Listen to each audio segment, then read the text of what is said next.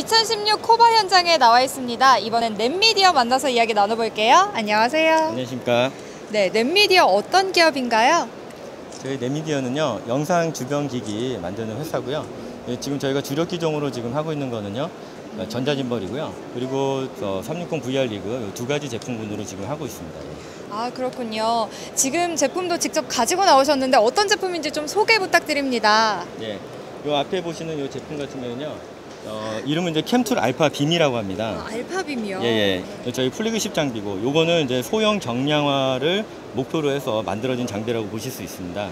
고quality의 영상물을 원하시는 이제 촬영 감독님들이나 네. 그다음에 요즘 개인 user분들도 어, 고quality를 원하십니다. 근데 어, 카메라뿐만이 아니고 지금 gimbal까지도 어, 소형 경량화 쉽게 가지고 다닐 수 있으면서도 어, quality가 좋은 stabilizer가 아주 잘 되는 제품들을 많이 찾으시는데요. 네. 실제 시장에 다녀보시면은 어, 어, 경량화 소형화는 좋은데 stabilizer 손떨림 방지 기능을 정확하게 제대로 구현할 수 있는 장비들을 찾기 어려우실 거예요. 그래서 어, 그 목표 타겟으로 저희가 이 제품이 만들어지게 된 겁니다. 아, 그렇군요. 이제 더 많은 분들이 찾게 되실 만큼 굉장히 기술력도 좋고 잘 만들어진 제품 같은데요. 앞으로의 계획과 목표가 궁금합니다.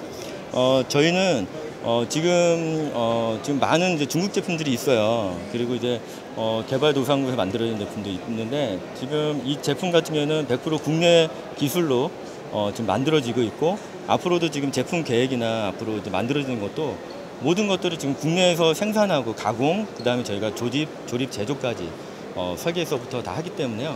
어, 이제 한국인의 그 지금 위상이라던가 지금 어, 제품들이 되게 좋은 평을 많이 받고 있잖아요, 세계에서요.